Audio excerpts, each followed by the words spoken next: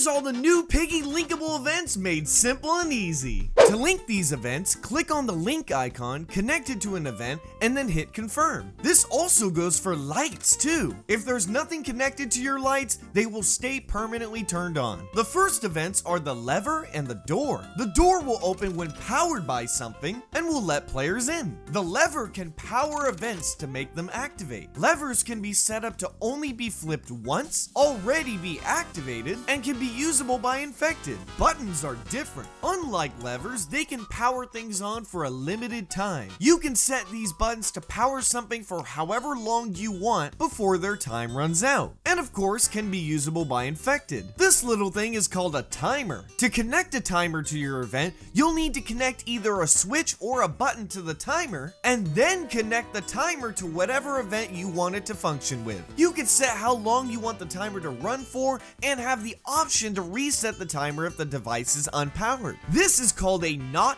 gate. It's simple. It'll do the opposite of whatever it is told to do. For example, if I go to flip this lever, it will close a door instead of opening it. This lever you see here is actually flipped off, but thanks to the NOT gate, it is actually turning the door on. This is an OR gate. If anything connected to it is powered, it will power on the event. So if you had a hundred levers, all connected to an OR gate, if one of them is turned on, the door will open. If you have a bunch of things that all turn on the same thing, this will be useful for that. This is an AND gate. It will only turn something on if everything connected to it is powered. For example, if you wanted to create an exit door that only opened if players discovered all five switches in the map, you can. This is the dialogue block. It'll play the dialogue of any character you set it to be when the player touches this invisible block. These blocks can be toggled with linked events too, so you can power them on to enable or disable them, alongside toggling the block itself to enable or disable repeating dialogue, or if this dialogue plays for everybody in the map if one player triggers it. This is an exclusive OR gate. It will turn something on if only one lever connected to it is flipped on. However,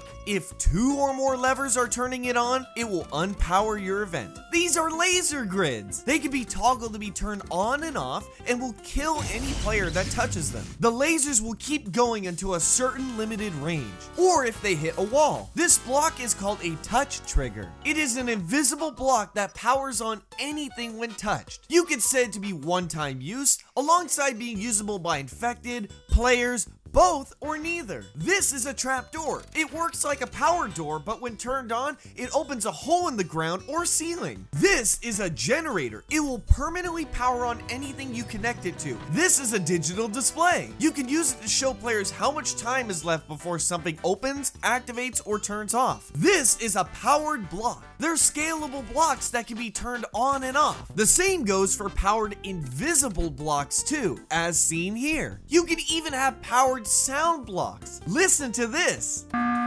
Finally, there's the Link Hub. It can be used to connect a bunch of stuff to multiple things at a time. Want more quick and quality Roblox content? Subscribe.